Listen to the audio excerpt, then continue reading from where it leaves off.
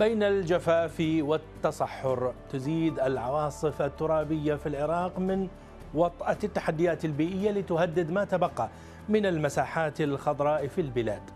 موجات العواصف الترابية التي اجتاحت العاصمة العراقية بغداد والمحافظات الأخرى خلفت أعدادا من الوفيات وحالات من الاختناق في عموم البلاد. بحسب وزارة الصحة هذا فضلا عن الأضرار الاقتصادية والحياتية. كميات الأتربة التي أتت على المدن سجلت نسبا مرتفعة مع قلة الأمطار وانعدام الحزام الأخضر الذي يحيط بها. يترافق مع بنى تحتية متواضعة من السدود.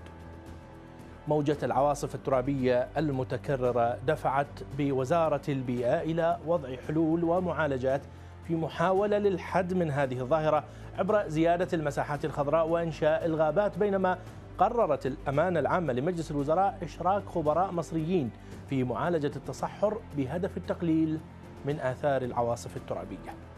ووسط هذه التحديات يبدو أن مؤشرات التغيير المناخي باتت تشكل مصدر قلق لخبراء البيئة مع تحذيرات دولية من أزمة تهدد الأمن الغذائي العالمي.